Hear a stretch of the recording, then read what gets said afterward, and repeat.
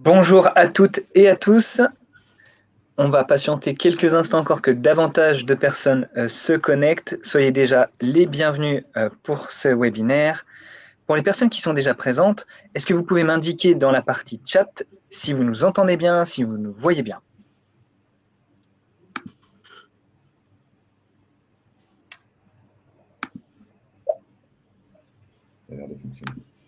Bonjour Hugo, bonjour Valérie.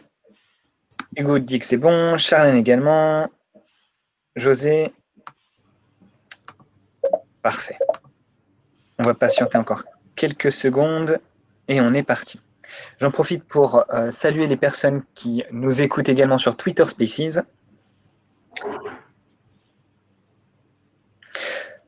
Pendant ce temps, je vais faire une brève explication euh, de l'outil. Vous avez donc euh, l'onglet chat. Si vous avez des questions, n'hésitez pas à les poser dans l'onglet questions, euh, fait justement à cet effet. Un troisième onglet qu'on va utiliser, ce sera l'onglet sondage. Donc, au cours du webinaire, on va vous envoyer trois sondages différents. Donc, n'hésitez pas à y répondre. Ça sera toujours intéressant pour pouvoir échanger ensuite avec nos intervenants. On va attendre 11h06 et on est parti. Eh bien, écoutez, je vous propose de débuter. Donc, bienvenue pour ce webinaire intitulé Comment financer son projet entrepreneurial. Donc, je me présente, je suis euh, Nicolas, Social Media Manager pour le portail Auto-entrepreneur. on organise euh, ce euh, webinaire avec le portail Auto-entrepreneur, qui est un service d'accompagnement pour les démarches de création et de gestion quotidienne pour euh, les auto-entreprises, et également euh, par euh, Simplito, qui eux accompagne les créateurs de sociétés, les associations, dans toute leur démarche d'immatriculation et leur dépôt de marque également. Donc j'ai le plaisir d'être en compagnie d'Alexandre Zana de la société Mata, Adrien Chaltiel, CEO de la société Eldorado, et Vincent Radix, le président de Mothership The Deck. Je vais commencer euh, peut-être par euh, Alexandre. Alexandre, est-ce que euh, tu peux te présenter en, quelques mots à nos auditeurs?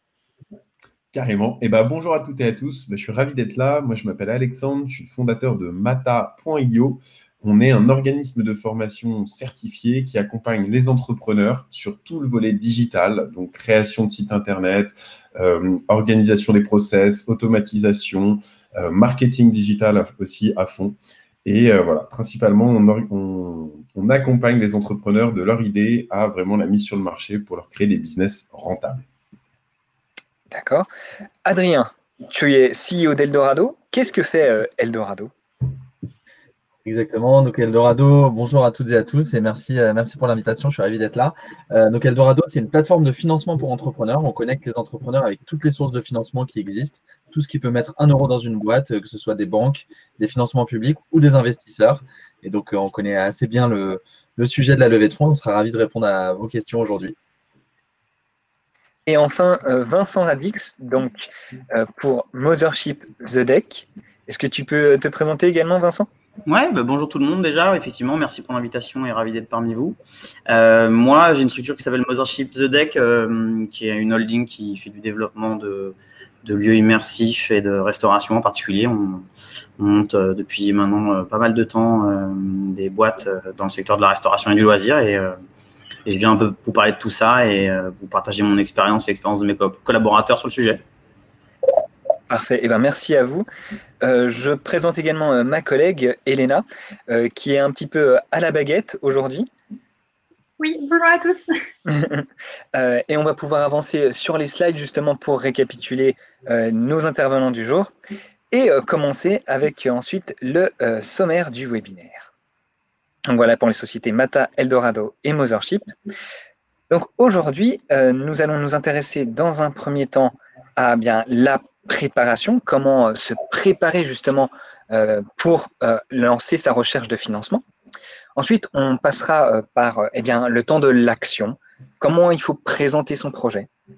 ce qui va être intéressant également à échanger avec vous, c'est ben, la réalité du terrain. on a échangé déjà à plusieurs reprises avec Vincent, avec Alexandre, que ben, oui, il y a la partie théorie et sur le terrain, comment ça se passe concrètement et comment gérer un refus, une déception, une frustration même, vous m'aviez évoqué, et comment rebondir derrière, comment que, que retenir après un refus? Et enfin, on terminera par l'après, comment gérer son budget et prévoir son prochain financement? Nous prévoyons bien évidemment un temps de questions-réponses à la fin euh, du, euh, de la présentation du webinaire. Donc euh, n'hésitez pas d'ores et déjà hein, dans l'onglet questions à nous les poser, nous les rassemblerons et nos intervenants se feront un plaisir d'y répondre en toute fin du webinaire. Donc pour commencer, la préparation, comment préparer sa recherche de financement, je vais me tourner vers Adrien. Adrien, tu es l'auteur du livre Obtenez les meilleurs financements pour votre projet à chaque étape de votre développement, qui s'adresse aux entrepreneurs qui sont en recherche de financement. J'ai déjà une première question euh, pour toi. Est-ce que tu peux nous dire quels sont les différents types de financement euh, possibles euh, pour les entrepreneurs et à quel profil est-ce qu'ils vont s'adresser? Alors, avec grand plaisir. Déjà, merci encore une fois pour l'invitation et puis merci d'avoir parlé du livre. Magnifique livre pour l'été au bord de la piscine. Gérez tous vos financements. comme ça, vous revenez à la rentrée justement avec les idées claires. Et vous allez voir qu'un des premiers conseils que je donne dans le livre et que je donne aujourd'hui, c'est vraiment que le financement est accessible à tous et qu'on a l'impression que c'est compliqué, que c'est fastidieux, qu'il faut avoir fait un, master de finance pour euh, comprendre le financement d'une boîte. En fait, ce n'est pas du tout le cas. Et notamment sur les types de financement, on a l'impression qu'il y en a énormément. On a la chance d'être en France dans un pays où il y a euh, pléthore de sources de financement privées, publiques, levées de fonds euh, et bancaires. Et en fait, il faut essayer de bien les catégoriser et bien catégoriser les sources de financement. Donc, nous, généralement, chez Eldorado, on dit qu'il y a trois familles. La première, c'est tout ce qui est bas de bilan. Donc, dans le bilan financier, tout ce qui est dette, donc les banques principalement, mais aussi BPI France ou autres qui peuvent intervenir sur des banques. Mais le financement bancaire, tout ce qui est prêt à la constitution de l'entreprise, en effet de levier sur une levée de fonds, etc. Ensuite, on a toute la famille très importante en France des financements publics, qu'on appelle aussi des financements non dilutifs. Non dilutifs parce que vous n'allez pas vous, trouver un, échange d'actions ou de parts sociales contre du financement. Euh, donc, c'est généralement des prêts, des subventions. Euh, il y a les régions, BPI France, euh, l'Union européenne, etc. Il y, a, environ 20 milliards d'euros de, dépenses publiques dans l'innovation et les startups tous les ans et les entrepreneurs. Et la dernière partie, c'est tout ce qu'on appelle les financements privés, donc tout ce qui est levée de fonds avec les business angels, les fonds d'investissement, les corporates qui aussi investissent dans des entreprises, les family office, toutes ces familles de financement. Donc en fait, il y, a, ces trois familles de financement et à peu près à chaque étape du développement, les trois familles sont activables, que ce soit à la création, que ce soit au moment de la croissance, si vous avez fait une levée de fonds ou si vous commencez à, atteindre la rentabilité, que ce soit au, moment de l'internationalisation de l'entreprise ou au rachat d'une entreprise, etc. À chaque c'est à peu près à chaque étape-là qu'il y a ces trois familles de financement. Donc, euh, euh, l'organisation, elle est un peu euh, sur ces trois familles. Et au sein de ces trois familles, il faut comprendre que chaque acteur du financement fonctionne plus ou moins différemment. Et le conseil que je donne avant de, donner la parole à d'autres, c'est euh, il faut bien connaître les acteurs du financement pour savoir quel est leur intérêt d'investir ou de vous financer. Une banque, son modèle économique, c'est de prêter avec de l'intérêt. Donc, ils vont vous prêter de l'argent si vous avez un risque minimal maîtrisé ou si vous avez de la croissance. Euh, les financements publics, ils veulent que vous créez de l'emploi et de l'activité, donc il faut nécessairement montrer ça. Et un, investisseur privé va vouloir euh, faire une plus-value en revendant les actions qu'il a, euh, dans lesquelles il a investi dans votre entreprise. Donc, essayez de bien comprendre quel est l'intérêt des acteurs du financement dans ces trois familles en fonction des dispositifs pour savoir quand les activer et combien obtenir. Entendu, bah, parfait. Euh, j'ai euh, échangé également euh, avec Vincent qui nous promulguait un, premier conseil qui était de tester son montage financier. Est-ce que tu peux développer un peu plus cette idée justement pour nos auditeurs, Vincent? Oui, bien sûr, avec plaisir. Bah, c'est important et je rejoins Adrien sur tout ce qu'il dit évidemment sur le fait que chaque acteur qui va vous accompagner dans le financement derrière va avoir une vue vraiment spécifique dans la manière que vous allez d'avoir, de présenter votre, votre, votre business plan ou en tout cas votre présentation financière. Et du coup, en amont euh, de cette rencontre avec l'acteur que vous aurez identifié comme étant la personne ou le type de financement que vous voulez voir, c'est vraiment important d'aller vous confronter en amont à d'autres gens qui euh, sont pas votre cible directe, mais qui ont peut-être un regard un peu similaire à celui que vous visez, parce que c'est des gens qui vont vous challenger sur votre montage, c'est des gens qui vont vous poser des questions, c'est des gens qui vont vous mettre en difficulté. Et il vaut mieux être en difficulté bien avant cette fameuse rencontre hyper importante avec l'acteur. Donc ça peut être n'importe lequel, hein, une banque, un fonds, euh, ou même votre, euh, votre public de crowdfunding. Euh, avoir confronté vos idées, vos envies, votre projet et surtout la manière dont vous voulez le financer à des gens en amont, c'est une bonne chose parce que vous allez sûrement prendre des douches, mais il vaut mieux prendre une douche avant quand c'est pas important et rebondir dessus. J'en ai c'est plein d'exemples, hein, je pense, hein, mais, euh, mais euh, voilà, si vous allez voir un fonds d'investissement et que euh, vous avez orienté votre financement de manière à le présenter à une, à une banque ou, à, plus ce, genre de dispositif, ben, si, si, vous avez eu, si vous aviez eu et pris le temps d'aller voir quelques business angels ou en tout cas des gens qui ont l'habitude de faire des levées, ils vous auraient tout de suite montré des choses sur votre manière de présenter, en tout cas votre, votre projet pour vous évaluer, euh, vous, éviter plutôt des peines euh, à ce sujet-là. Donc, euh, c'est vraiment de manière systématique. Ça va bien au-delà du financement. Je pense que moi, c'est valable pour tous les projets et l'ensemble du projet. avant de commencer à en parler trop publiquement, c'est bien d'avoir des retours de gens qui, ont, qui viennent du milieu et qui viennent de ce métier-là. Pour vous challenger, vous, pouvez être sûr qu'ils vont vous dire que vos idées sont pas parfaites, vous pouvez vous améliorer et que et que euh, ça va être dur, mais au moins c'est des gens qui vont vous, euh, de manière bienveillante, vous dire les choses. Euh, je trouve que l'un des gros problèmes qu'on a en recherche de financement de manière générale, c'est que bien souvent on fait, on l'envoie des dossiers et, et on, fait des demandes de financement et la plupart du temps on n'a même pas de réponse sur ces sujets-là. Parce que bah voilà, on s'est trompé quelque part et les gens qu'on a voulu démarcher pour faire ce financement n'ont pas pris le temps de vous répondre parce que vous ne rentriez pas dans les critères de manière quasiment euh, instinctive ou même immédiate. Et le fait d'avoir ce temps d'avance sur eux en présentant ce projet-là et votre projet avant, va vous permettre d'avoir du backup et des retours de ces gens-là et puis optimiser un peu votre présentation et votre financement de manière à ce que les gens euh, bah, prennent le temps de vous répondre parce qu'ils vous rentrez plus dans les clous de forme euh, et la manière dont ils attendent à ce qu'on leur présente les projets. Quoi. Tu disais également que tous les acteurs ne convenaient pas pour tous les projets. Est-ce que tu as des exemples de, terrain à, nous partager?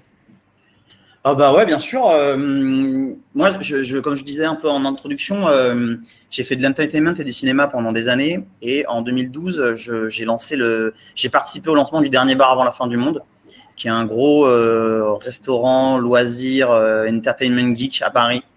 que vous connaissez peut-être, en tout cas je l'espère. c'est un lieu que je continue d'apprécier même si je suis plus sur le projet. Euh, et c'est un projet, par exemple, euh, qui était très euh, communautaire, très porté sur le fait qu'il y ait une grosse communauté derrière lui qui l'a poussé au début. Et dans une seconde phase de développement, ce projet, par exemple, donc, qui est quand même devenu un très gros bar, hein, c'est 500 mètres carrés de bar et resto à Paris, donc il y avait énormément d'événements, beaucoup de gens autour, et qui du coup a quand même été identifié comme un lieu de réussite en termes de, sous et de, business. Euh, à un moment, s'est dit dans une seconde phase de développement, euh, bah tiens, nous, on a envie de créer un karaoké dans l'endroit. Euh, donc une salle dédiée à ça, quoi. Et plutôt que de passer par un financement en levée de fonds ou, en banque ou ce genre de choses, les acteurs du projet ont dit bah tiens, si on faisait appel à du crowdfunding et du soutien de notre communauté. Et, et c'est l'exemple type d'une mauvaise identification de quel est le bon financement pourquoi? Parce que ben, ça fait 3-4 ans que ce bar et ce lieu existent. Il est identifié auprès de sa communauté comme un lieu qui marche financièrement. Euh, le crowdfunding ne correspond pas à ça comme type de financement et donc ça a été un flop terrible parce que, ben, euh, parce que ben, les gens disent mais on ne comprend pas, vous nous demandez de participer activement sur un crowdfunding pour aider un projet parce que le crowdfunding étant quand même un peu moins maintenant, mais à l'époque, on parle de 2012, hein, donc c'était il y a 9 ans déjà c'était quand même encore un moment où c'était des sources de financement qui étaient vraiment perçues pour lancer les gens, faire popper des projets et des idées, euh, et moins pour les, les, développer dans un second temps. Donc ça a été un flop ultime parce que la communauté et les gens ne euh, comprenaient pas la logique de financement de crowdfunding sur un projet qui existait déjà. Euh, à l'inverse, ben, moi j'ai des exemples même actuels qui sont plus liés à du, ouais, de moi ce que je fais là maintenant, on a un gros projet de développement d'un lieu qui s'appelle Orbis, qui est un lieu de, euh, immersif de, de, de, vie, nous, on appelle ça. Donc, dans lequel vous allez pouvoir faire euh, de l'activité, euh, des workshops, du loisir avec des escape games, de la réalité virtuelle. Pouvez aller boire un café, euh, boire un cocktail, manger le midi. C'est des vrais gros lieux de vie dans un lieu euh, immersif avec un décor de cinéma. Et c'est quelque chose qui n'existe pas vraiment en France, qui n'existe pas vraiment en Europe, et sur lequel on n'a aucun passif. Donc, euh, euh, la structure n'existe pas. Donc, euh, quand tu vas voir une banque, elles te disent ce qu'on a fait d'ailleurs au début. C'est pour ça que le projet a été long à financer. on allait voir des banques et on leur disait bah, voilà, notre package il est comme ça, on veut faire ça. ce projet il est formidable. On a plein d'acteurs, plein de partenaires. On avait quand même, je pense, bien fixé nos trucs. Le problème, c'est que les banques à l'heure actuelle, elles ont une vue de on, a du, retour sur de la restauration pure. On connaît le restaurant, le concept restaurant, on connaît, on sait comment ça marche. Et on a le retour sur du loisir pur, donc une salle d'escape, une, une salle de cinéma, ce genre de choses. Et là, d'un coup, on leur présentait un truc complètement nouveau, sur lequel on était incapable de leur présenter montrer pas de blanche, et eux n'avaient pas de retour euh, sur ce que c'était comme produit. Euh, et du coup, c'était hyper bloquant pour les banques parce que les banques fonctionnent comme ça. Il faut quand même majoritairement que euh, tu aies un, retour sur le produit, que au moins un produit ressemblant sur lequel ils peuvent s'accrocher parce qu'ils connaissent le produit. Là où bah, on s'est aperçu rapidement que euh, c'est plus un fonds d'investissement qu'il nous fallait ou des gens qui sont plus dans le développement d'idées nouvelles. Et, euh, et on s'est réorienté au fur et à mesure. Donc, euh, on a perdu du temps. C'était c'est un peu bête, mais euh, on s'est lancé là-dessus parce qu'on n'a pas assez bien identifié et préparé notre recherche de financement. Ou en tout cas, on s'était dit que notre expérience suffirait dans le domaine. Et en fait, on s'est aperçu rapidement que ben non, le produit en lui-même n'était pas collé pour les banques et donc on a basculé sur du fou. Euh, après, des exemples, on peut en avoir plein, mais je pense que voilà, c'est vraiment ça l'idée très, très important, très important. C'est avant tout, vous avez une super idée, vous, avez, vous êtes hyper motivé par le projet, euh, vous avez euh, qu'une envie, c'est de le financer et qu'il parte. Et en fait, c'est vraiment bien d'aller voir des gens, et je, rejoins un peu ce que je disais avant, qui vont vous dire, qui ont du recul sur votre projet, qui vont dire, attends, mais là, euh, tu es un énorme bar qui gagne énormément d'argent, ou en tout cas, aux yeux des gens, gagne énormément d'argent. Ah non, le crowdfunding, arrête, avoir une banque, tu vois, ou à l'inverse, bah, votre projet, il est super, mais en fait, ça n'existe pas dans le monde. Donc euh, oui, les banques vont pas prendre de risques. Et ça, c'est en allant voir des gens, je pense, euh, et, s'ouvrir un peu euh, l'esprit par rapport à ça, en rencontrant d'autres gens qui sont pas trop trop focus sur le projet, qui, va vous aider à, trouver la bonne démarche là-dessus. Merci. J'en profite pour nos auditeurs. nous allons partager notre premier sondage, donc à répondre à quel type de financement avez-vous appel dans l'onglet sondage? Donc n'hésitez pas à aller répondre. Pendant ce temps, je vais me tourner euh, vers Alexandre. Euh, Alexandre, pour terminer euh, sur cette thématique de, la préparation de la recherche de financement, comment tu t'es pris, toi, de ton côté? Ouais, top, merci. Bah, je vais reprendre un peu ce qu'a dit, ce qu'ont dit Adrien et Vincent. Déjà, bien identifier les trois acteurs, public, privé, banque. Une fois qu'on a compris comment est-ce qu'ils fonctionnaient, par quoi ils étaient intéressés, donc ça, Adrien, tu l'as dit, hein, mais essayer de préparer en gros les, les montants qu'on va leur demander et là, je reprends ce que le conseil de Vincent de tester son montage financier. Il y a le montage financier, mais il y a aussi les documents à produire. Donc, on doit faire ce qu'on appelle le deck euh, de présentation. Donc, c'est euh, une dizaine, maximum une vingtaine de slides qui présentent l'activité et le potentiel de l'activité. Et ça, faut l'avoir en fait dès le début. Donc, avant même de, dire au, monde, de dire publiquement que l'on va lever des fonds et que l'on va chercher du financement, il faut bien préparer en amont tous ces documents comme si on les avait déjà présentés à des investisseurs, les présenter. Moi, c'est ce que j'ai fait hein, personnellement. Donc, j'ai tout bien préparé en amont. Euh, je les ai challengés avec des gens qui, je savais, aller investir dans la structure parce qu'ils me suivaient depuis le début, en fait. Donc, ils étaient euh, très euh, gentils, enfin très bienveillants avec moi. Donc, je leur ai présenté ces documents, je me suis fait challenger, j'ai pris des douches, comme dit Vincent, j'aime beaucoup ton expression parce qu'elle est très vraie. Euh, j'ai pris des douches sur tous ces documents, mais du coup, je les ai vachement fait évoluer avant même de dire au, grand public que j'allais lever. Et le jour où je suis allé lever, en fait, j'avais déjà, et ça, je vous le conseille à toutes et à tous ceux qui nous écoutaient, euh, mettez une date de closing dès le premier jour. C'est-à-dire que dès lors où vous allez euh, dire je commence à lever, c'est je commence à lever, j'ai mes documents, je suis prêt à vous les montrer, je connais tous mes chiffres, mes Excel, je les connais par cœur, vous pouvez me challenger, et je close dans X mois, le 12 février, je dis n'importe quoi, euh, parce qu'en fait, ça donne, une, ça donne le tempo. Euh, je sais que là, il y a, du coup, aujourd'hui, j'investis dans des projets et je sais qu'il y a un projet dans lequel je voulais investir qui galérait un peu à boucler, qui me disait non, mais ça va closer vers septembre, octobre, etc. Depuis que je leur ai dit ça, ils ont annoncé une date et ça va beaucoup plus vite. Les investisseurs, en fait, se bougent euh, aussi. Donc, euh, voilà, il y a une deadline, en fait, que l'on va respecter. Donc, même si en soi, rien n'est acté dans le, dans le marbre, comme quoi ça va être le 12 février qu'on va closer. Je trouve que c'était un conseil de mon avocate, en fait, à l'époque, et je trouve que c'était un des, meilleurs conseils que j'ai pu recevoir. Donc, avoir bien tous ces docs, savoir vers qui on va se tourner, donc soit du BA, soit du fonds, soit du public, du privé ou conglomérat, justement, et, euh, et prévoir sa date de closing. Moi, je sais que ça m'a énormément aidé, et ça paraît anodin comme ça, mais si on ne l'avait pas dit, je ne l'aurais pas fait. Moi, j'ai closé en deux mois et ça s'est super bien passé. je suis très content de mes, investisseurs aujourd'hui. On a une super relation. Ah, merci pour euh, ce conseil, euh, Alexandre. Euh, je vais garder la main avec toi parce qu'après le temps de préparation vient le temps de l'action. Et la première chose à, pouvoir faire, en fait, quand on fait sa recherche de financement, bah, c'est d'apprendre, savoir comment se présenter nous-mêmes et peut-être présenter son projet et son équipe comment est-ce que toi, tu t'y es pris justement pour te présenter euh, face euh, à tes investisseurs euh, potentiels? Ouais. bah alors, comment est-ce que je. Donc déjà, j'avais encore une fois tous les documents, donc le pitch deck, le business plan, éventuellement exécutif summary, c'est la feuille A4 qui présente bien le projet. Ensuite, pour présenter du coup le projet et l'équipe, bah, il faut toujours faire en gros un peu un état des lieux de la concurrence, montrer pourquoi est-ce que nous, on est là et pourquoi est-ce qu'on est pertinent, pourquoi est-ce qu'on est meilleur que les autres, etc. Euh, démontrer ça avec des chiffres. Donc, il faut faire les choses, en fait, et montrer qu'on a déjà fait mieux avec très peu de moyens.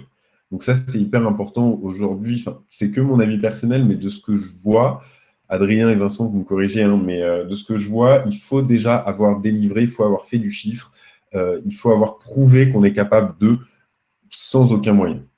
Euh, et ensuite, pour présenter l'équipe, bah, lui, l'équipe, elle est réduite hein, à ce, niveau-là. On n'est que quelques personnes. Et bah, montrer que notre background, ce qu'on a fait, bah, Vincent, il l'a très bien dit, il monte des lieux immersifs, il a fait du cinéma et de la restauration. Donc, bam, quand tu, quand tu rencontres les deux, bon, bah ouais, ok, c'est pertinent, il est pertinent sur le sujet. Moi, au début, euh, j'étais, euh, du coup, j'ai fait du code, j'ai fait une école de commerce et j'ai fait beaucoup de, de pédagogie quand j'étais à Londres. Bah, en fait, j'ai monté une boîte autour du digital et de la pédagogie et je suis entrepreneur, j'ai fait une école de code, donc voilà, ça avait du sens. Mon CTO, ça fait 20 ans qu'il développe, donc ça avait aussi du sens. Enfin, chacun avait bien les compétences par rapport à son poste. Donc ça, c'est hyper important de montrer ça. Et je pense qu'il y a un truc qui nous a aidé aussi, c'est de rajouter des petits clins d'œil euh, par rapport aux personnalités des gens. Vu que lorsqu'on lève au tout début, en tout cas je parle vraiment pour le tout début, c'est souvent vers des business angels ou alors vers des fonds, montrer qu'on a des traits de personnalité qui vont pouvoir agir dans le bon sens de notre, euh, par rapport à notre poste. Je ne sais pas si j'étais très clair là-dessus. Mais euh, voilà, par exemple, Juliette, qui est euh, notre première employée avec qui j'ai fait mes études, etc., on a toujours travaillé ensemble parce qu'on a fait nos études ensemble. Elle est très organisée, etc. Et son job aujourd'hui est lié à ça. Donc, je sais que ça rassure aussi euh, les investisseurs de, de ce côté-là. OK, on est bon pour le job, on a les compétences, on a été formé pour ça, mais en plus, notre trait de personnalité est en adéquation avec ce qu'on va faire dans la boîte. Et, tu penses que c'est quoi le plus important? Ça va être justement euh, les, membres, les personnes de, l'équipe ou euh, le projet? Ou est-ce que vraiment ça se vaut? Moi, je dirais qu'on pourrait faire du 60-40, c'est-à-dire qu'il y a 60% d'équipe, 40% de projet, parce qu'en soi, euh, c'est l'équipe qui fait tout. Quoi. Sans équipe, tu n'as pas de projet. Vincent, tu rejoins Alexandre sur ce point? Oh ouais, je pense. Je vais même au-delà d'Alexandre. Je, suis tout à fait d'accord avec lui, mais je pense que c'est vrai aussi euh, pour tous les types de financement si on a un spectre très large au final, parce que on peut croire que euh, parce qu'on va boire une banque ou parce qu'on fait un crowdfunding, euh, on a besoin d'être moins méthodique dans les outils et dans la manière dont on présente les choses, mais en fait, c'est plus vrai maintenant. Je pense qu'il faut le faire. Il faut faire ce travail-là de manière systématique. déjà, ça vous aide pour vous pendant votre projet, de le comprendre. Ça aide, ça aide vos équipes à s'investir dedans aussi parce qu'elles se, elles se sentent reconnues. Donc, tout ce travail de mise en avant de l'équipe et tout, il est hyper important, quel que soit le financement, vraiment, vraiment. Et je pense qu'effectivement, on est, euh, surtout au début, dans les phases initiales de développement où, où on doit impulser une énergie sur un truc qui est nouveau ou sur un concept nouveau sur lequel on n'a pas trop de recul, c'est l'équipe et, la manière dont elle est mise en valeur qui fait la différence sur du financement. c'est l'humain, quoi. Moi, je suis là-dedans à, plein de balles depuis des, des, années maintenant et je vois bien qu'à chaque fois, c'est la personnalité de, des, entrepreneurs et de leur équipe qui, va faire la différence aux yeux au final des, des investisseurs ou des, ou des, ou des modules ou des, des tubes d'investissement type crowdfunding ou banque. Euh, avant tout, ton banquier, euh, oui, si tes chiffres ils sont bons, ils sont bons, mais euh, mais c'est pas très important parce que c'est la base presque. ce qui est important, c'est que toi, tu as l'énergie, que tu as une équipe derrière, la, la, crédibilité de faire ça. Ouais moi, je passe mon temps à, dire que sans mon équipe, je serais, je serais rien. Et en fait, les gens qui investissent dans les projets, quels qu'ils soient, quelle que soit la manière, euh, se basent vraiment là-dessus, de savoir si euh, est-ce qu'il y a une équipe derrière, qui sont ces gens, est-ce qu'ils sont motivés, d'où ils viennent, euh, avant même de se poser des questions sur le produit, parce que bien souvent, ils se disent, bah, de toute façon, leur produit doit être bien ficelé. Alors, il y a des coups de cœur, évidemment, hein, qui sont hyper importants. Euh, parce que c'est comme ça que ça marche dans l'entrepreneuriat, où, ton financier, même, même ton directeur de banque, hein, c'est un coup de cœur avec le, projet qui fait qu'il participe, je pense, parce que le reste, on, part du principe que tout est bien ficelé derrière, mais c'est avant tout l'humain, ouais, ouais, carrément à 100% qui fait que je ne sais pas, je ne saurais pas mettre un pourcentage que voilà, c'est toujours un peu tenu, mais je, je rejoins complètement Alexandre sur le fait que pour moi, c'est plus l'équipe et la team et, le, et le, la manière dont tu la présentes, tu la mets en avant qui fera la différence sur le fait d'avoir des refus, ou à l'inverse euh, des, retours positifs sur le projet. Et Adrien, du coup, euh, Vincent parle du, produit, du projet. quel conseil tu pourrais donner pour bah, l'idée de, vendre, entre guillemets, son, projet ou son idée? Pour continuer aussi ce qu'il disait dans la continuité et puis ta question, c'est clair que nous, même un des conseils qu'on donne, c'est dans la présentation, dans les, dans les decks, euh, donc les fameux pitch deck euh, d'environ 20-25 slides maximum, c'est de mettre l'équipe en, deux ou troisième slide. Euh, on, met le problème, la solution, mais surtout qui on est, parce que généralement les entrepreneurs ils mettent l'équipe après avoir fait tous les slides sur la concurrence, la répartition de la levée de fonds, etc. Alors que c'est hyper important de savoir d'abord quel est le problème, euh, c'est quoi le pain, la fameuse problématique qu'on veut résoudre, comment on veut le faire et qui on est pour le résoudre. Euh, c'est quoi notre parcours. Donc ça, c'est le premier élément. Le deuxième, c'est aussi qu'une levée de fonds, c'est beaucoup de storytelling, c'est emmener les investisseurs dans une aventure, dans une histoire, puisqu'ils vont miser sur vous en tant qu'équipe. Donc il faut savoir se vendre. C'est hyper important d'avoir, euh, quand on démarre une levée de fonds, d'avoir bon moral, d'être en forme mais surtout d'avoir confiance en soi. C'est hyper important. C'est euh, qui on est, qu'est-ce qu'on a fait et pourquoi on en est arrivé là. Et c'est même ça qui intéresse les investisseurs du démarrage, c'est euh, de participer à cette aventure et cette histoire, euh, de parler du produit, dans sa technicité, du service, etc. Ce sera important, du modèle économique, etc. Mais avant tout, qui vous êtes, c'est hyper important. Après, oui, pour répondre à ta question, il faut quand même retomber sur ses pattes et il n'y a pas que du storytelling quand on fait de la levée de fonds. Il euh, faut, convaincre, séduire, mais il faut aussi avoir euh, des éléments solides sur, euh, quand on démarre une levée de fonds, d'avoir un produit ou un service qui soit proche, si ce n'est pas déjà ce qu'on appelle au product market fit, c'est-à-dire le, produit et le service qui soient matures pour euh, la plus grande population de clientèle euh, qui est son, son marché. donc ça veut dire qu'il faut connaître son marché, il faut être raisonnable au début et pas dire on va vendre à, tout le monde entier. Il faut peut-être partir sur des niches et des activités un peu un peu plus sectorisé, euh, et de bien connaître son marché, bien connaître son modèle économique. Euh, est-ce qu'on va vendre de l'abonnement, euh, du SaaS, au pourcentage, etc., à la rétrocommission ou autre? Il faut bien connaître son modèle économique, son modèle de revenu, et bien connaître ses coûts. Donc avoir un peu la balance déjà des démarrages en disant ben voilà, quels sont les investissements qui vont me servir à faire grandir mon produit ou mon service. Euh, donc, une fois qu'on a répondu à ces questions et qu'on a une bonne équipe, c'est un peu le mix des deux. Hein. Euh, dites-vous d'abord que votre service, votre outil ou votre produit, il y en a déjà euh, quatre ou cinq autres personnes qui l'ont au même moment. je prends souvent la métaphore, enfin la métaphore, l'exemple des, prénoms. Moi, j'ai trois filles. J'étais persuadé d'avoir un prénom un peu original. J'en ai une qui s'appelle Apolline. Bah, en fait, dans sa classe, il y en a, il y en a déjà trois. Donc, vous voyez, euh, euh, une idée, c'est un peu pareil. Une idée de startup, on est persuadé d'avoir la même euh, tout seul, mais en fait, c'est il y a tout un environnement, une maturité de, l'écosystème, etc., qui fait qu'il y a beaucoup de gens qui vont avoir la même idée, mais pas la même équipe et pas la même manière de développer cette idée. Donc c'est un peu ça qu'il faut montrer dans le deck et dans les présentations investisseurs. C'est en quoi vous êtes originaux et c'est pas l'idée qui est originale, c'est la manière dont vous allez mettre en place cette idée, vous allez la développer et en quoi votre business model est, euh, est solide et peut permettre à un investisseur de se projeter? Euh, nous avons euh, une question qui euh, me semble pertinente de répondre dès à présent, de la part de Marie Jean-Jean. Elle nous dit Vous parlez dans l'action de présenter l'équipe. Comment présenter l'équipe si elle n'est composée que d'une personne? Qu'est-ce que vous en pensez? C'est la thématique du ce qu'on appelle du solo founder ou de la solo founder. C'est plus compliqué de lever des fonds quand on est seul, mais c'est pas impossible. il est quand même conseillé d'avoir une équipe pluridisciplinaire assez diverses dans les compétences. Euh, et c'est quand même, euh, faut le savoir, plus difficile de lever des fonds quand on est seul, parce que bah, rien que la levée de fonds, d'ailleurs c'est un conseil que je donne, hein, quand vous êtes plusieurs associés, cofondatrices ou cofondateurs, il faut que ce soit un des, ou une des, des, personnes, généralement là où le CEO, qui s'occupe de la levée de fonds. Il n'y a pas besoin, si on est trois associés, d'aller à trois à tous les rendez-vous, etc. Et d'avoir la charge mentale de relancer, échanger, euh, avoir les documents auprès des investisseurs.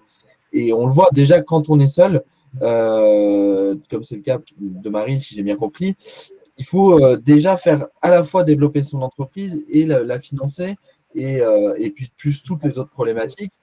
donc déjà, il y a une charge de travail importante, mais aussi il y a un risque pour les investisseurs qui est plus important parce que si le solo founder ou la solo founder quitte le navire pour X ou Y raison, il n'y a plus personne pour reprendre la barre. Donc le risque est plus élevé. Alors que si on a plusieurs associés ou cofondatrices, cofondateurs, le risque est un peu plus dilué. C'est pour ça que c'est plus challenging, mais ce n'est pas impossible euh, de lever des fonds quand on est seul euh, associé. Et, euh, je pense que Vincent et Alexandre ont aussi le, même sentiment. J'irais même un peu plus loin, mais moi je suis hyper catégorique là-dessus parce que de fait, on accompagne beaucoup de gens à travers notre hub euh, Mothership euh, sur de l'accompagnement de projet, du développement de projet et tout ça. Et moi, je suis assez catégorique sur le fait que c'est euh, vraiment pas une bonne chose, je trouve, de faire de l'entrepreneuriat seul. même vraiment au-delà du financement et de la levée. Hein. C'est un truc où, bien sûr, c'est possible. Et Adrien le dit clairement, j'ai vu des dizaines d'entrepreneurs monter leur boîte et faire un financement seul. Mais c'est tellement dur en réalité et on n'a tellement pas de backup s'il nous arrive un problème à soi euh, demain, c'est des exemples concrets, hein, mais tu montes ta boîte, tu tombes malade, bah, ta boîte marche plus. quoi. Donc, euh, ça fait un bien fou euh, d'être entouré de gens. Si on devait. Alors, là, je suis en train de casser complètement la question et en fait, peut-être que je m'éloigne même de la réponse, mais voilà. En tout cas, je dis ne fais pas ça, voilà, de mon point de vue, parce que c'est vraiment mieux à tout point de vue et pour tout le monde d'être entouré de gens. Je pense que si je veux revenir sur ta question initiale et essayer de trouver une réponse, je dirais que euh, une équipe, c'est pas non plus aussi, c'est pas forcément que euh, ton équipe de fondateurs partenaires qui a des parts dans la boîte, qui est le produit, tu vois. Euh, moi, j'ai vu plein de petits porteurs de projets qui développaient des, des trucs et des, des, boîtes sur lesquelles bah, ils avaient quand même une, collaboration avec une graphique en externe, un monteur de son, d'autres acteurs qui n'étaient pas directement dans la boîte, mais qui est quand même qui, qui, qui tournaient autour du projet parce que c'est rare les projets où tu fais tout toute seule. Ça existe évidemment, mais, mais c'est plus rare, je pense. Et je pense qu'il ne faut pas hésiter à être transparent avec, ça euh, et montrer que euh, des gens sont avec nous, même s'ils ne sont pas au sein de la boîte, ils sont avec nous. C'est des partenaires identifiés. C'est des gens sur qui on compte sur le projet euh, et qui ont une réputation, qui savent faire leur métier. Et bien sûr, tu présentes pas le fait que c'est ton équipe, mais qui sont avec toi dans ton écosystème. Quoi. Et je pense que c'est peut-être le voilà, c'est moins confortable pour les gens, mais je pense que c'est pas une mauvaise chose de, du coup, si tu es seul, de mettre un peu plus en avant ton écosystème global. Euh, nous, on le fait de plus en plus sur nos projets. On a une équipe qui est, on a de la chance, j'ai de la chance d'être hyper bien entouré de gens qui sont euh, hyper compétents euh, et depuis des années et tout. donc, je les présente et je les mets en avant. Mais du coup, en plus de ces gens-là, maintenant, on met aussi nos partenaires en avant en disant, voilà, sur l'électronique, on bosse avec cette boîte-là, c'est des gens géniaux, ils sont super. Euh, et, je pense que ça, ça rassure aussi les gens. Donc ça répond peut-être un peu plus à ta question, euh, même si encore une fois, je te recommande pas de le faire parce que je pense qu'on gagne tous à collaborer, à créer des, de l'entrepreneuriat, c'est bien en groupe, quoi, vraiment. Mais je pense que si tu es seul et que tu es motivé à être seul, euh, mettre en avant tes partenaires et les gens avec qui tu travailles, parce que forcément ça va arriver, c'est peut-être une réponse à ça, quoi, pour t'aider à densifier ton projet. Je, suis bien d'accord, hein, pour avoir monté, pour être solo founder dans la boîte, j'ai fait les levées, etc. C'est chaud d'être tout seul. Il faut vraiment être hyper actif, à donf tout le temps, etc. Tu n'as jamais de coup de mou, tu peux pas tomber malade, tu n'as pas le droit. donc, il faut vraiment être au taquet, donc essayer de s'entourer. Heureusement, moi, j'ai des employés qui sont là depuis le premier jour, en fait, et qui ne sont jamais partis, qui sont toujours là en poste aujourd'hui, qui, ont des parts, qui sont des associés aujourd'hui, donc qui prennent vraiment ce truc-là. Mais voilà, au début, seul, c'est très compliqué. Et il faut jamais baisser les bras. Il y, a, toujours, on se prend des murs, on se prend des murs, on se prend des murs, mais tant que le mur il tombe pas, on tombe pas. Et, voilà, toujours être à fond. Et bien se réguler. Moi, j'ai toujours dit, j'ai un invest qui m'a dit, Alex, c'est pas pas un sprint, c'est un marathon. Et moi, je lui ai répondu il y a trois ans, t'inquiète, je cours le marathon à la vitesse d'un sprint. Faux. c'est pas possible. Donc, euh, savoir se comprendre soi-même et se mettre des pauses à des bons moments et se dire voilà moi avant je travaillais tout le samedi tout le dimanche et à un moment je me suis dit en fait non tu peux pas donc euh, voilà travailler un tout petit peu euh, éventuellement le samedi le dimanche ou alors complètement off mais voilà savoir se cadrer et savoir mettre des pauses aussi c'est important pour pour, bah, pour être plus efficace par la suite quoi justement, après euh, ce temps de, l'action, euh, vient la réalité du terrain. Donc, comme tu dis, euh, Alexandre, on, fait beaucoup d'efforts, tu, fais ton, marathon sprint, et, ben, malheureusement, parfois, ça s'accompagne d'un retour à la caisse départ pour sa recherche de financement en cas de refus. Et du coup, là, ma, question, ça va être de savoir comment est-ce qu'on gère un refus, comment est-ce qu'on gère une déception. avec Vincent, on avait même échangé sur la notion de frustration. Ce que je propose également, c'est de vous partager euh, à, nous, à vous, euh, nos auditeurs, un nouveau sondage. Donc, euh, pour répondre à la question qui parmi vous a fait face à un refus de financement? Et dans la partie chat, vous pouvez nous indiquer quelles en étaient la raison. Peut-être du coup commencer par Vincent. Est-ce que tu as reçu des refus? Comment est-ce que tu as géré? Quelle en était la raison? Comment est-ce que tu l'as surmonté? Et Qu'est-ce que tu en retiens? Qu'est-ce qu'aujourd'hui euh, eh ben, tu ferais euh, différemment? Bah, Des refus, ouais. Je pense que j'ai plus reçu de refus que de, retours positifs dans ma vie. Moi, ça fait 15 ans maintenant que je fais de l'entrepreneuriat et que je monte des boîtes. Donc, euh, autant dire que le chemin de croix du financement qui est bien réel, je le connais bien. j'ai reçu des refus de tout type. après,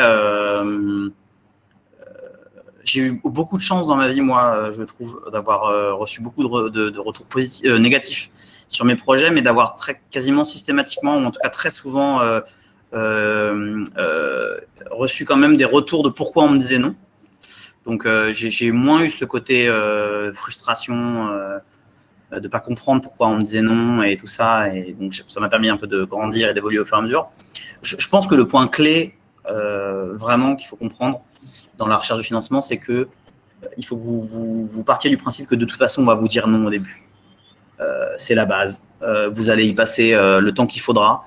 que vous ayez une expérience complètement folle, et même si vous avez beaucoup d'argent, même si, même si c'est un truc, un projet qui a l'air formidable, peu importe, quelle que soit votre typologie de projet et la manière dont vous allez le présenter, vous allez avoir des noms, c'est sûr. vous allez avoir tout le temps des noms. Et donc, il faut l'aborder de manière à, comprendre que c'est que des éléments de construction du projet euh, qu'il ne faut pas hésiter à multiplier ça. Ça demande beaucoup d'énergie, hein, vraiment. Euh, euh, je rejoins Adrien dans ce qu'il disait tout à l'heure et Alexandre sur le fait que dans un business et l'entrepreneuriat, il ne faut, il faut pas sous-estimer le temps que vous allez passer à ça. Et donc, il faut vraiment qu'un un des, un des membres actifs de la société comprenne que c'est quasiment un, boulot à temps plein.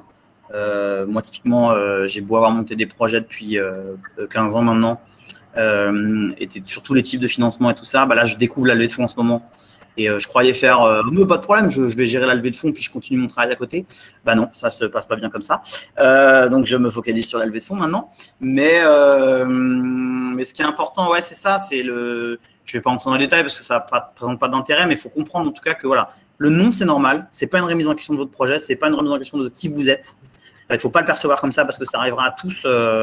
Voilà, le projet, moi, je, je, prends mon exemple encore une fois, c'est que je monte des boîtes, j'ai monté pas de blanche, euh, on amène le meilleur produit qui soit sur le marché à l'heure actuelle. Et pourtant, j'ai mis trois ans à le développer parce que j'ai pris trois ans de non sur le financement. Donc euh, là, c'est bon, c'est lancé, mais voilà. Euh, c'est voilà, pas prendre ça pour vous, pas prendre ça personnellement, continuer à vous confronter à ça et juste comprendre que c'est juste un chemin d'apprentissage où vous allez faire évoluer votre présentation, votre projet, vous-même et votre énergie, et qu'il faut, faut juste pas baisser les bras. Si votre idée elle est bonne et que euh, et que vous avez la bonne team et la bonne euh, la bonne énergie qui va avec, un moment vous matcherez avec quelqu'un qui, comprendra votre projet et vous dira oui. Donc euh, voilà, c'est percevoir le fait que un nom c'est juste un élément positif sur votre parcours qui vous permet de mieux cerner votre projet et vous permet de mieux le préparer pour pour demain. Complètement. Et moi, je rajouterais juste tout noter. C'est-à-dire que non, pourquoi, pour telle et telle raison, ok, je corrige et j'affine au fur et à mesure. Enfin, moi, tous les noms, toutes les, déceptions, tous les refus que j'ai pu avoir, mais en fait, c'était juste un trampoline pour être meilleur sur le prochain rendez-vous. Quoi. Et d'ailleurs, euh, je me demande si c'est pas Adrien ou Vincent qui nous a dit ça la dernière fois, euh, d'aller voir les gens avec qui on n'a pas envie de bosser au début. Je crois que c'est l'un de vous deux qui, a dit ça la dernière fois. Je trouvais ça hyper pertinent. Effectivement, il y a par exemple peut-être des fonds qui ne sont pas directement euh, liés à notre activité, donc on sait qu'ils vont nous dire non pertinemment, mais allez les voir au tout début, juste pour qu'ils nous disent non, mais pourquoi ce nom, qui nous détaille et qui nous démonte un peu le, truc. Bah, ouais, ah, Excuse-moi. Il y a une question de prioriser, effectivement, c'est moi qui en parlais, mais euh, il y a une question de, de prioriser euh, les, ceux, à, ceux, à, qui tu t'adresses et pourquoi. Et effectivement, comprendre que ben, les gens que tu veux vraiment avoir parce qu'ils ont les bons profils, c'est les bonnes pipes, ils ont le bon, le bon positionnement sur le marché, quel qu'il soit, que ce soit des banques aussi, hein. il y a des banques qui sont plus axées sur de la restauration ou d'autres trucs. Hein. Euh, bah, c'est bien de les garder pour la fin quand tu as bien rodé ton histoire et que, euh, et que tu veux vraiment arriver vers eux en étant hyper euh, punchy. quoi. J'ai oublié de le dire, mais c'est vrai que c'est peut-être Adrien pourra en parler mieux que moi encore, ou même Alexandre, je sais pas. Mais je, je pense que c'est important par contre de prendre en compte le fait que au moment où vous allez présenter vos projets à quelqu'un, il aura un avis différent de la personne à qui vous l'a présenté juste avant.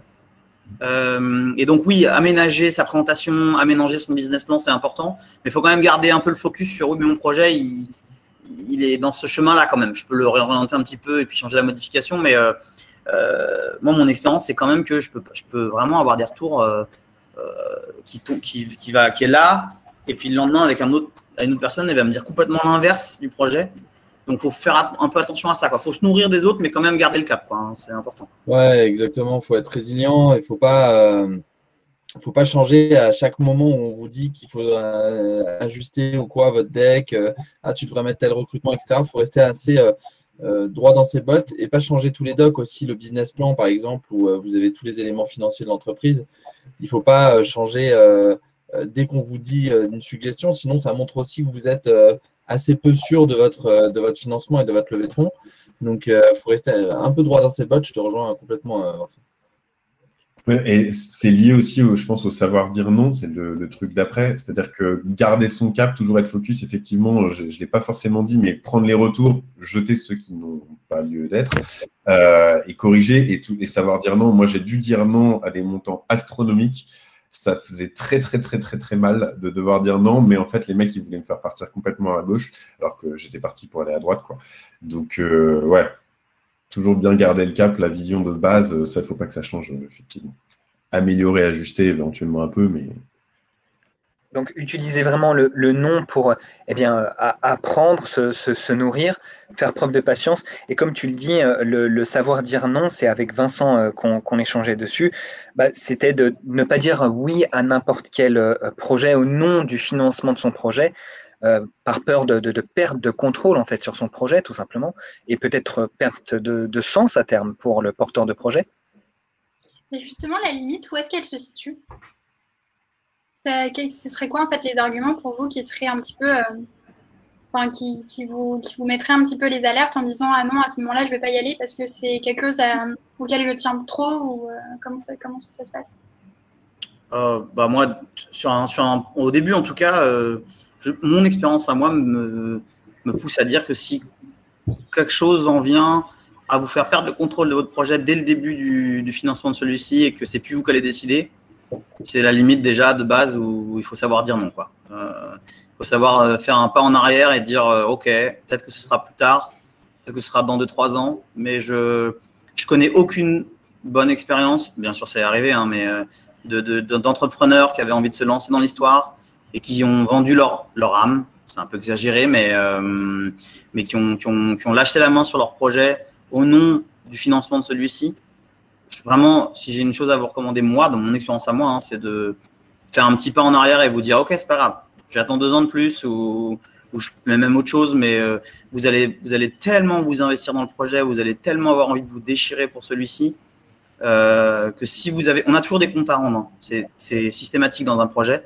Euh, qu'il soit financé, pas financé, que ce soit à des, à des fonds d'investissement, que ce soit à une banque, que ce soit associé, que ce soit à ses, à ses employés. On a toujours des comptes à rendre et c'est important que ça existe. Mais si dès le début, avant même que c'est commencé, vous perdez le contrôle de celui-ci et c'est plus vous qui décidez en réalité, je pense que c'est la, la, limite, elle est là vraiment sur l'histoire, sur je pense. Ah, merci beaucoup, c'était très clair pour moi en tout cas. On va, on va poursuivre avec euh, eh ben, une bonne nouvelle. Mettons euh, qu'on a obtenu euh, le financement nécessaire justement pour son projet. Donc on passe justement à l'après. Eh bien, comment gérer son budget et prévoir son prochain financement? Donc là, ça va être la phase un petit peu de, gestion. comment répartir son budget? On va commencer avec un, dernier sondage qui va être pour ceux qui ont reçu des financements, s'ils peuvent nous indiquer eh bien, à combien s'élève le, montant. Donc je vais commencer peut-être avec Vincent. Donc tu parlais de la nécessité de bien cadrer son projet avant l'investissement. Quel, lien justement avec l'après? Euh, ben, on, peut croire euh, que, euh, que, le plus important, c'est de se lancer, c'est travailler, c'est le financer et tout ça. Et donc, se dire que le cadrage en amont du mon projet, combien ça me coûte, c'est pas si important que ça, mais ce sera un peu ce que disait Alexandre tout à l'heure, c'est qu'au final, plus, temps, plus, vous allez passer de temps avant, avant le projet, à préparer l'après, justement, ben, plus vous serez à l'aise dans, dans ce fameux après parce que vous aurez pris beaucoup de temps et vous aurez moins de surprises dans l'histoire. Euh, au final, moi, mon point de vue, c'est la gestion de l'après, il s'est fait avant, bien en amont. Euh, après, euh, justement, normalement, vous avez fait ce travail de préparation qui existe déjà. Et peut-être qu'au final, il faut, faire attention, encore une fois, je parle de l'expérience, hein, faut, faire attention à l'euphorie qu'on a dans l'après, parce qu'on a, ça y est, on a validé notre projet. Euh, il a été financé, on a cet argent, il est là. Et on a tendance à vite oublier ce qu'on avait prévu et euh, la manière dont on voulait dépenser les choses. Et, euh, et, on a tendance à vite dépenser, il faut que ça avance, il faut que ça avance, il faut que ça avance. Je reprends un peu systématiquement mon, Moi, je viens du monde du cinéma et j'ai fait la direction de production pendant des années. Et mon boulot, c'était de dire non. C'est moi qui avais les cordons de la bourse. J'avais le financement du film, en gros, et mon boulot, c'était de dire non. Et c'est un petit peu ça, malheureusement, le boulot aussi de l'entrepreneur derrière, quand après, il a eu son, son, il a son budget et doit prévoir son prochain financement, bah, il faut qu'il ait en tête que sa structure, elle doit être saine, qu'il ne faut pas partir dans tous les sens. Et donc, euh, je dis pas qu'il faut dire non à chaque fois parce que c'est un peu le contre-exemple, on y reviendra peut-être après. Mais euh, ton boulot, quand même, c'est justement d'avoir ce regard un peu euh, derrière et de revenir à ce qu'on avait prévu et d'essayer de bien s'y tenir parce que souvent, normalement, on a été, euh, on a été un peu dur dans nos prévisions, on a prévu d'être euh, économe euh, en amont. C'est ce, ce, qui a structuré le projet, c'est ce qui a convaincu les financiers. Et on a vite tendance à l'oublier, ce côté-là, quand on est dans l'euphorie du projet qui est lancé.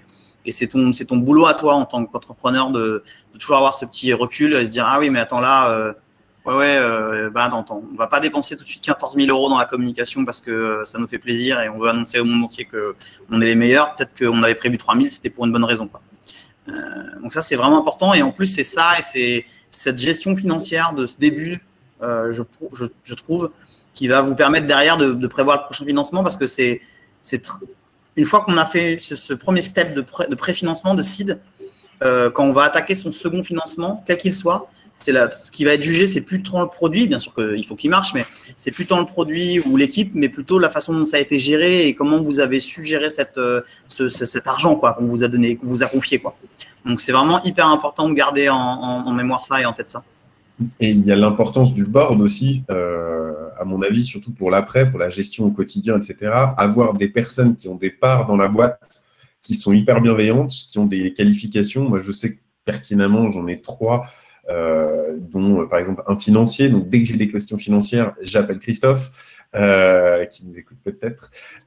donc voilà, avoir toujours des personnes en fait hyper qualifiées, hyper bienveillantes, qui ont ou non des participations dans la boîte, mais quand ils ont des participations, ils sont quand même un peu plus concernés dans le truc et qui te conseillent et qui peuvent te faire un, un retour sur toi-même. Bah, surtout, moi, je parle de ça parce que je suis solo founder, donc j'en parle avec euh, bah, les premiers employés qui sont là depuis le début, effectivement, qui sont associés aujourd'hui. Mais euh, voilà, c'est bien d'avoir aussi un avis externe aux gens qui vivent le quotidien avec toi. Je trouve que ça, c'est un truc qui m'a vraiment, vraiment aidé et qui m'aide tous les jours encore aujourd'hui. Alexandre, tu parlais euh, également dans, nos échanges avant le webinaire, euh, comme quoi tu avais ce sentiment d'être euh, redevable aux personnes qui t'ont aidé dans le financement de ton projet. Est-ce que tu peux nous expliquer un petit peu bah, qu'est-ce que c'est que ce sentiment et, comment tu le gères? Ouais, c'est un truc que j'avais pas du tout prévu. Moi, en fait, à la base, je me suis dit, bah, super chouette, ils m'ont fait confiance, j'ai les sous. Bah, maintenant, il faut que je leur fasse une, un retour sur investissement. La première année passe et tu te dis, OK, j'ai des bons chiffres, j'ai respecté ce que j'ai dit, j'ai même dépassé un peu. Bon, bah, c'est cool, mais, euh, mais quand est-ce qu'ils vont avoir leur retour sur investissement? Et l'année d'après, tu es là en mode, ouais, faut qu'ils aient quand même leur retour sur investissement. Et voilà, et d'année en année, le, truc passe. Et euh, voilà, faut se dire qu'il y a des gens. Enfin, après, je sais que j'ai parlé avec d'autres entrepreneurs qui ont, par exemple, n'en ont rien à foutre. Euh, eux, on leur a fait confiance, on leur a donné des sous, que ça marche ou que ça marche pas, c'est OK pour eux moi, personnellement, j'arrive pas à ça. Euh, il y a des gens qui m'ont fait confiance, qui ont misé sur ma gueule, sur la boîte, sur mon équipe. Euh, ok, il faut faire en sorte que l'équipe elle soit bien, qu'elle soit heureuse, qu'elle bosse bien, qu'elle réalise ses objectifs. Il euh, faut faire en sorte que tes investisseurs bah, ils soient au courant aussi de façon régulière, qu'ils sachent exactement tout ce qui se passe. Et donc voilà, tu es, quand même un peu redevable de ces gens-là, même si sur le papier, non. C'est-à-dire que moi, la plupart des investisseurs, quand ils ont mis un ticket, ils ont dit on ne reverra jamais cet argent, on est conscient, il n'y a pas de problème avec ça, on le sait. Tu vois J'ai un petit truc qui est arrivé après, et je ne le savais pas euh, lorsque j'ai signé les papiers, on va dire. Euh, mais c'est un petit truc qui est arrivé après où je me suis dit, hey, en fait, tu n'as pas le choix. Il hein. faut que tu leur fasses un retour sur investissement, sinon tu ne dormiras plus jamais. Donc, euh, donc voilà, il y a ce côté-là que moi, je n'avais pas prévu. Et voilà, des gens t'ont fait confiance, bah, maintenant, il faut leur redonner l'appareil. J'avais également une, question pour, euh, pour Adrien euh, sur bah, l'idée, voilà, on a reçu euh, son, une certaine somme. est-ce qu'on doit la dépenser en entièreté ou au contraire, comment, comment est-ce qu'on doit apprendre à gérer, répartir son budget? Alors, c'est une bonne question. Euh, cet argent est quand même fait pour être dépensé. Et euh, je suis désolé, ma caméra s'arrête, je ne sais pas pourquoi. Je vais essayer de la remettre. Ah voilà. Euh, le, dépenser, il est fait pour être dépensé cet argent. C'est-à-dire il est fait pour être mis au travail, comme on dit. donc faire des dépenses qui vont soutenir la croissance. Après, euh, euh ce n'est pas une dette, donc vous n'avez pas à rembourser cet argent. Euh, forcément, hein, dans la, levée de fonds, euh, ils deviennent associés, ils ont mis de l'argent pour acheter des actions, mais il faut le faire fructifier. L'attente des investisseurs, c'est que cet argent prenne de la valeur et puis que leur part ou leurs actions puissent être revendues dans les prochaines années. donc, pour répondre à ta question, il est fait pour être dépensé. Alors, euh, je peux vous le dire d'expérience aussi, et je pense que Vincent et Alexandre aussi le, sauront. Euh, un million ou deux millions d'euros, ça paraît énorme, mais ça peut être très très rapidement dépensé. Euh, donc, en recrutement, en, croissance, en, cabinet, en, études de marché, etc. Vous, pouvez avoir pas mal de postes de dépenses. C'est le burn, donc l'argent qu'on va dépenser tous les mois, peut très vite augmenter. Et les plans de revenus, généralement, c'est l'argent qui est le plus difficile à aller chercher, c'est l'argent des clients. C'est l'argent qui est le plus euh, long à, obtenir. Et généralement, les plans que vous faites sont assez éloignés. Donc, il faut le dépenser, mais en étant bon gestionnaire. Et pour être bon gestionnaire aujourd'hui, il faut faire des plans de dépenses varier euh, en fonction des problématiques de l'entreprise, mais aussi en fonction des revenus et essayer d'étaler les revenus le plus tard possible pour avoir un peu le, pire scénario. Si on arrive à faire du revenu un peu tard, euh, bah, il faut qu'on essaie de se garder toujours un matelas de trésorerie euh, pour rebondir, parce qu'il faut anticiper si vous avez plus de chiffre d'affaires ou pas les chiffres d'affaires que vous prévoyez. Il euh, ne faut pas se poser la question de quels sont les leviers euh, de financement supplémentaires qu'on peut aller chercher quand on n'a plus que deux mois de trésorerie. Donc il faut le dépenser tout en gérant bien les sorties et les rentrées et en ayant plusieurs scénarios sur lesquels travailler. mais après, c'est sûr cet argent est fait pour être investi. Donc les investisseurs vont attendre que vous recrutiez, que vous soyez en croissance, euh, que vous investissiez cet argent intelligemment pour euh, faire grandir l'entreprise en recrutement et euh, principalement dans les levées d'amorçage, c'est du recrutement qui, est visé autour d'une levée de fonds. écoutez, je vous propose, est-ce que vous avez peut-être un, mot à rajouter pour, pour terminer cette présentation afin, avant qu'on voit les questions et les réponses au sondage Foncez, c'est génial et gardez toujours le cap.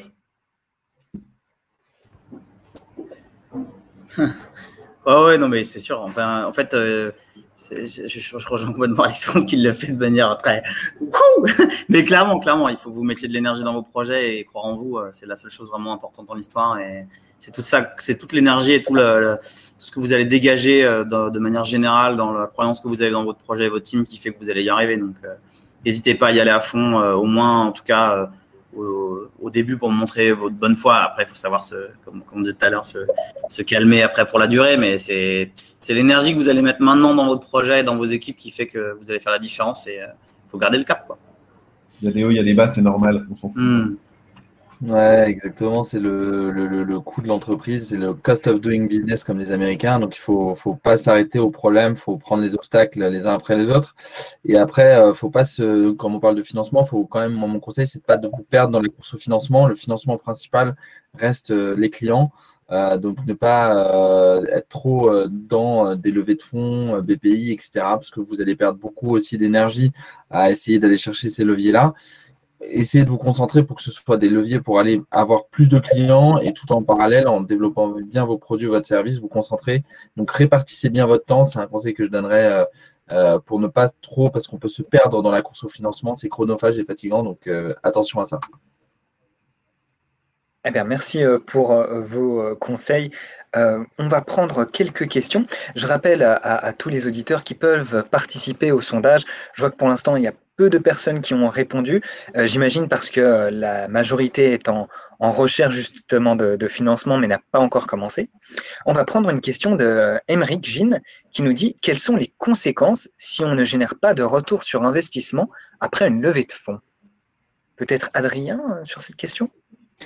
Ouais, alors le, les investisseurs vont pas nécessairement. Alors le, retour sur investissement, c'est une question qui est large, c'est-à-dire euh, générer des revenus et faire grandir l'entreprise, c'est ce qui est attendu. Alors après, la croissance de l'entreprise et sa valorisation peut augmenter aussi à mesure des enjeux RD, euh, de l'avancée technologique de l'entreprise euh, ou des enjeux d'avancée sur la concurrence, par exemple, s'il n'y a pas forcément de techno, mais d'innovation, mais qu'on va plus vite que les concurrents sur un service même qui n'est pas forcément technologique, mais qui est une valorisation qui soit supérieure à, pour l'entreprise euh, à chaque étape de son développement, donc que chaque année l'entreprise grossisse. Le retour sur investissement, il se fera que si vous revendez l'entreprise ou euh, que vous rentrez en bourse. Euh, donc forcément, il faut, il faut, c'est un temps assez long. Donc le retour sur investissement, il peut pas être immédiat, il peut pas être vraiment à court terme. Il s'analyse aussi sur les prochains, les prochaines semaines, mois. donc le, retour aussi qu'attendent les investisseurs, c'est voilà, qu'il y ait de la croissance et euh, chaque année qu'il y ait des milestones qui soient atteints à différentes étapes de développement euh, pour atteindre soit la rentabilité, soit aller vers une autre levée de fonds euh, parce que l'entreprise, sa valorisation aura grandi. Après, s'il n'y a pas de retour que l'entreprise échoue, c'est le jeu de l'entrepreneuriat. donc forcément, les investisseurs perdent et vous aussi, vous perdez euh, bah, le, le, la mise que vous aviez mis et l'argent, l'investissement que vous avez mis dans ce projet. Mais les investisseurs voilà, ne peuvent pas se retourner contre vous, sauf à prouver que vous avez commis une faute euh, particulière dans la gestion d'entreprise ou que vous avez euh, utilisé l'argent pour partir en vacances. Là, oui, les investisseurs vont demander un remboursement. mais en soi, c'est le jeu de l'entrepreneuriat et du financement. c'est que si le projet échoue, les investisseurs aussi perdent leur mise. Merci beaucoup euh, pour, pour, la réponse, Adrien. Euh, une nouvelle question euh, d'Amélie Prevot qui nous dit Est-il avantageux de mettre un budget dans le digital concernant les systèmes d'emailing, etc., afin d'être totalement indépendant ou vous, vous pensez que de, que de passer par des professionnels est nécessaire? Peut-être Alexandre? Je vois qu'il s'agite. ouais, ouais, si, j'ai mis mon cas. complètement, c'est c'est mon quotidien en fait, ce genre de questions. Euh, je pense qu'au début, c'est bien de faire tout seul, de mettre les mains dans le cambouis, de comprendre comment ça marche, parce que personne ne connaît mieux notre produit que nous, on est proche de nos clients, etc. Donc au début, faire tout seul, parce que après, lorsqu'on va devoir s'entourer soit d'un CDI, soit d'une agence ou d'un freelance ou de ce que vous voulez, d'un prestataire externe qui va pouvoir nous faire la chose, c'est important de pouvoir le challenger bien parce qu'on l'a déjà fait et qu'on a déjà mis les mains dans le cambouis. Donc, euh, moi, mon conseil, c'est de le faire au début tout seul. Et une fois que ce canal-là est rentable, là, on peut le déléguer à quelqu'un d'autre, soit en interne, soit en externe. Moi, c'est mon conseil perso. Après, je ne sais pas euh, ce que vous en pensez euh, aussi des autres. Ouais, moi j'ai un avis un petit peu différent peut-être, mais parce que je suis sur des produits moins digitaux, donc j'ai tendance à beaucoup dire aux gens à un moment que si toi en tant qu'entrepreneur tu lances ton projet et que tu passes 90% de ton temps sur des outils qui sont pas les tiens, dont souvent le, le, digital, la com et tout ça, alors que tu devrais passer. Je prends l'exemple d'un restaurant hein, pour être très concret. ton boulot c'est d'être restaurateur, d'accompagner tes clients, de leur vendre des produits et de, de faire à manger et de faire à boire quoi. Si demain, euh, tu passes 70% de ton temps à créer des posts, euh, à galérer, à essayer de répondre aux gens sur Internet, euh, et que ça te prend tout ton temps et ton énergie, il n'est peut-être pas inintéressant de, de, faire appel un peu à des extérieurs. Après, c'est hyper dur de répondre à la question parce que c'est hyper dépendant de ton produit et de ce que tu lances comme boîte. Quoi. Et, et, le, cap de, ce budget digital et ce fameux budget digital, il est c'est le grand écart entre certaines boîtes où c'est euh, crucial. Euh, tu vois, tu fais du, market sur le net, bah oui, tu as forcément un budget digital, il faut que tu existes. Quoi. Euh, tu, ouvres un, une salle de, fitness sur un angle de Paris, euh, bah, c'est peut-être pas le moment où tu vas, tu vas mettre le plus d'argent. Donc, il faut savoir un peu trouver l'équilibre de ça. Je trouve que c'est vraiment, encore une fois, c'est pas mal, c'est exactement comme l'investissement, c'est pas mal de challenger un peu les gens autour de soi aussi sur savoir si c'est important pour ton projet ou pas. Encore une fois, euh, il y a plein, plein, plein de structures, plein, plein, plein de gens euh, avec lesquels tu peux te confronter tes idées, quoi, avec la chambre de commerce, avec, les, avec des boîtes de jeunes entrepreneurs où tu peux rencontrer des gens qui, qui montent des boîtes et, euh, ouais, échanger avec ces gens-là par rapport à ton projet propre. c'est pas mal pour avoir un avis là-dessus. Je, trouve ça difficile à répondre à la question parce que euh, c'est très dépendant, comme tu dis, Alexandre. Je vois, tout à fait ce que tu dis de mettre un peu la, main dans, le cambouis et de savoir comment ça marche, c'est bien. Euh, mais à un moment, si tu y passes 90% de ton temps alors que c'est pas ça, centre de boulot, ben, on réfléchit autrement. Oui, c'est clair. Pour des petites choses, là, sa question, c'était sur un système d'emailing, par exemple. Tu vois, c'est pas. Ouais, ouais, ouais. Oui, tu as des petits outils que tu peux prendre en main, mais c'est après le temps que tu vas passer euh, derrière, quoi. Mais ouais, ouais. Dur de répondre.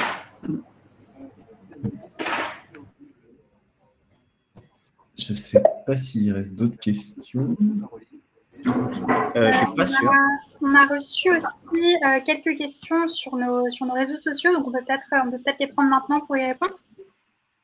Euh, donc la première question, c'était donc comment instaurer une relation de confiance avec son banquier? C'est une excellente question. Euh, comment, comment, comment, faire ça? Avec son banquier? Ben oui, c'est vrai qu'en fait, au final, c'est presque les gens les plus durs à l'heure actuelle, je trouve, en France, à, convaincre et à, te faire accompagner. Euh, parce que c'est de moins en moins eux qui prennent des risques dans le fait de lancer des boîtes. Euh, je pense que le, monde bancaire en particulier, c'est la, c'est la cohérence et, le, et, surtout le fait d'avoir des outils clairs et bien faits en termes de business économie, enfin en termes de business de BP et tout ça, qui va faire en sorte que tu lui montes pas de blanche sur le sujet. Euh, je trouve que c'est les gens qui vont le plus aller te challenger sur euh, euh, la moindre petite ligne de ton business plan, la manière dont ça a été, présenté, la, tête globale de ton projet et tout ça. Et que c'est des gens qui vont beaucoup, beaucoup passer par le document. je pense que vous avez tous été confrontés à ça, mais moi, c'est les gens qui me demandent le plus de documents ever quand j'ai un financement, euh, c'est la banque. Quoi. Euh, euh, et que plus ton projet il est ficelé à ce niveau-là, plus tu es capable de dégainer vite ces choses-là, voire même de lui apporter avant qu'il avant qu'il te, les demande. Tout de suite, ça leur met, ça, leur met dans, un, dans un coin de la tête le fait de Ah, bah, je n'ai pas eu à lui demander ces documents-là, donc il sait comment ça marche, ou elle sait comment ça marche, et du coup, c'est quelqu'un de confiance et tout ça. Et vous allez voir, hein, si vous tapez sur Internet un petit peu la liste des documents que peut demander un banquier, ils sont énormes. Mais euh, si vous, vous tapez ce projet-là avant d'aller le voir, que vous, vous, faites le travail de créer ces éléments-là propres et pas juste sur un bout de, papier, et que vous arrivez en lui montrant le, bah voilà, mon deck de présentation, mon BP, mon équipe, mes finances, mon plan de financement, bah, ça, ça va tout de suite te briser la glace. Hein. Clairement, moi j'ai un nombre de gens assez colossaux qui, une fois qu'on est arrivé devant chez eux, avec tous les éléments, on avait déjà pas gagné, mais on avait passé ce, ce cap de, de ben, c'est des gens sérieux qu'on a en face de nous. Donc, le meilleur conseil que je peux demander, c'est aller, aller, ouais, aller sur Internet, regarder la liste des documents qu'un banquier peut vous demander pour un prêt d'entreprise. Faites-le en avance. Attendez pas qu'il vous le demande et je pense que ça aidera pas mal. Ah, c'est très, clair. Merci beaucoup. Euh, du coup, si vous avez d'autres questions, je vous invite à les poser dans l'onglet questions. On va attendre quelques minutes. Et puis sinon, peut-être Adrien avec quelque chose à compléter sur la relation de confiance avec le, avec le banquier. Désolé, je me suis déconnecté, reconnecté. Mon, mon ordi a plus de batterie et, j'ai oublié mon chargeur. Donc, euh, euh, je vais faire euh, système D avec mon, téléphone. Du coup, non, sur les relations bancaires, effectivement, donc les documents bancaires sont assez spécifiques. Un banquier, il va pas regarder analyser une start-up ou une, entreprise ou un entrepreneur jeune au démarrage de manière générale euh, comme, euh, comme euh, une entreprise traditionnelle, puisque les banques prêtent aux riches, donc aux entreprises qui ont un profil le, plus, le moins risqué possible et le plus rentable à court terme puisque il va regarder, bah, comme quand vous faites un emprunt bancaire pour louer ou acheter un appart ou autre, qu'il qu'il faut avoir un potentiel de remboursement et d'échéancier bancaire. Et d'ailleurs, un des documents euh, que demande une banque, c'est l'échéancier bancaire. Nous, on a un template gratuit sur Eldorado. Si vous tapez euh, euh, échéancier bancaire Eldorado, vous allez le, trouver, qui vous permet de voir comment justement vous allez pouvoir pitcher le remboursement de votre emprunt auprès de la banque. Le, défaut des banques, c'est que c'est une offre qui est très éclatée, c'est-à-dire qu'il y a une vingtaine d'organismes de crédit en France, mais qui ont autant d'implantations régionales que de, de, banques potentielles et de, chargés d'affaires ou de, chargés d'affaires entrepreneuriat euh, qui ont euh, une, appréciation différente de votre projet. Donc, mon conseil, c'est d'abord euh, de se rapprocher de votre euh, chargé d'affaires personnel et professionnel quand vous allez en avoir un, puisque euh, quand vous allez ouvrir un compte bancaire, vous allez avoir euh, un, un, chargé professionnel ou une chargée professionnelle sur votre, votre entreprise. Et donc, c'est à chaque étape de votre développement d'aller essayer de les contacter pour leur dire bah voilà, on a créé cette entreprise dans tel domaine, euh, on va lever des fonds, on a levé des fonds, euh, on a nos premiers clients, on a reçu tel prix, etc. Parce qu'à chaque étape, les banques vont pouvoir euh, vous trouver des axes de financement adaptés à vos projets. donc notamment tout ce qui est constitution de fonds propres, effet de levier sur une levée de fonds potentielle que vous allez faire, etc. Donc il faut essayer de composer en fait en fonction de, chaque étape de développement de votre entreprise, de leur, euh, présenter ce que vous faites. Et là, vous allez avoir potentiellement des, euh, dispositifs adaptés à chaque étape.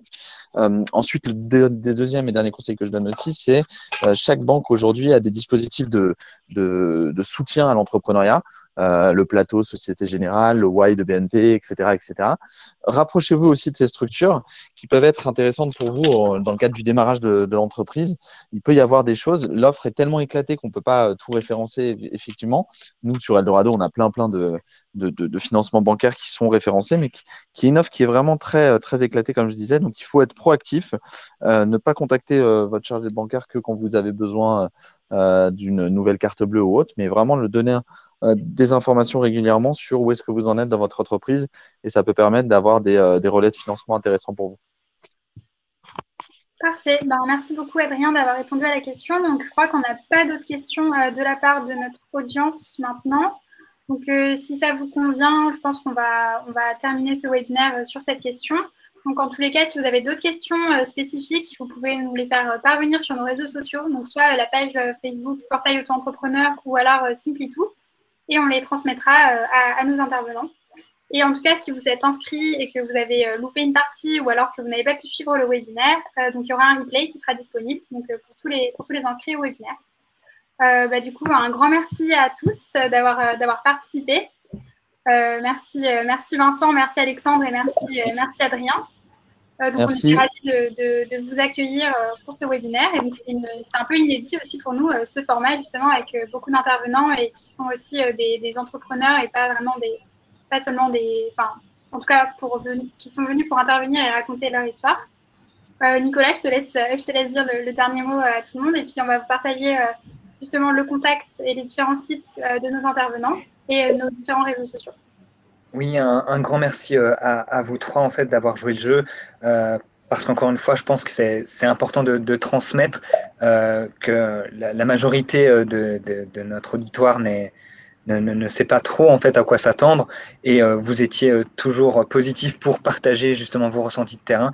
Donc vraiment un grand merci à vous. Un plaisir, merci à tous et bon courage en tout cas. Ouais, merci beaucoup pour l'invitation et à très vite.